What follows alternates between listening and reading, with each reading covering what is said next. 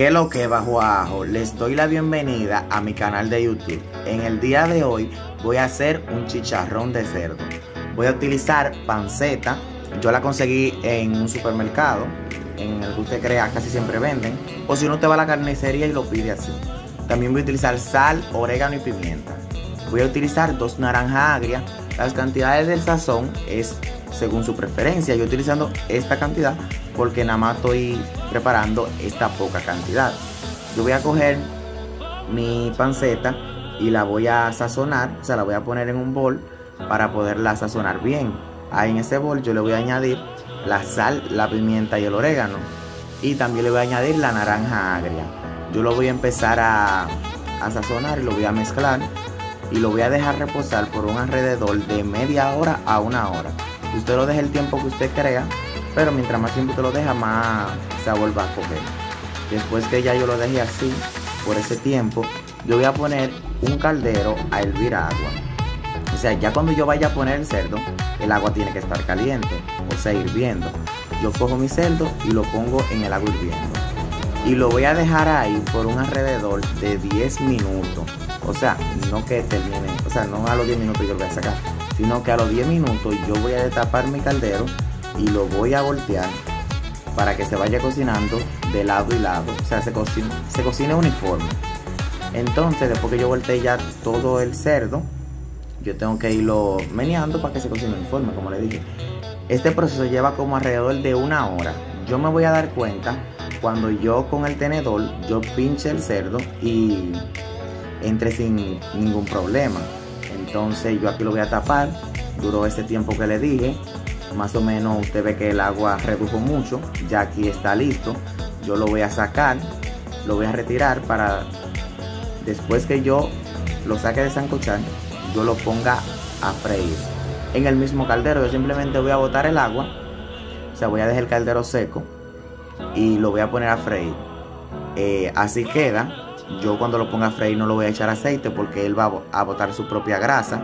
Incluso empieza a chirriar y puede que te queme, pero vamos al paso. Yo empiezo a poner mi chicharrón.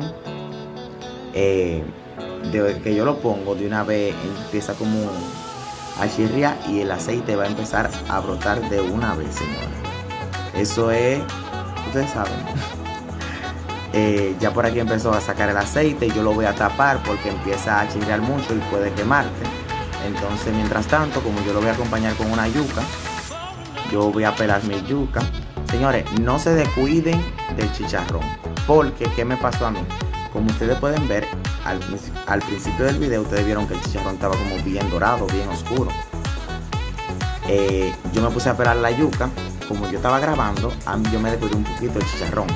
No se me quemó, sino que quedó como bien doradito, pero el sabor estaba perfecto. O sea, a mí me encantó.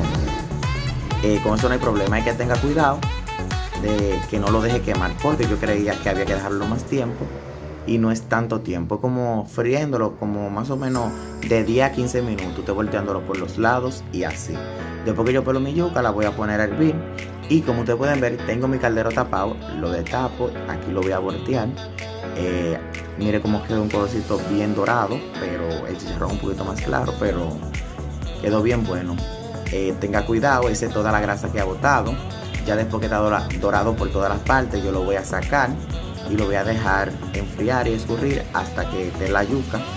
Voy a cortar un pedacito para que ustedes vean que quedó súper jugoso. A mí me encantó.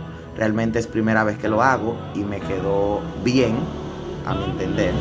Estaba bien bueno. Eh, Mire este pedazo aquí, que tal se ve, súper jugoso y bueno, delicioso, un sabor increíble. Eh, yo lo, voy a acompañar la yuca y el chicharrón con un encurtido de cebolla, que yo hice la receta en mi cuenta de TikTok, si no la has visto la puedes ir a ver. Eh, realmente ese encurtido de cebolla yo lo dejé en la nevera como una semana y lo hice específicamente para comerme este chicharrón. Aquí estoy sirviendo yo mi yuquita con mi chicharrón, un limoncito y la cebolla, señores. Yo soy loco por la cebolla, por eso le puse bastante. Entonces, es como, este encurtido de cebolla te economiza tiempo porque tú lo haces y lo dejas en la nevera y ya cuando tú vayas a comer O sea, acompañarlo con lo que tú quieras, ya tú lo tienes ahí a cuarta. Así que espero que te haya gustado. Sígueme en Instagram y suscríbete a mi canal de YouTube.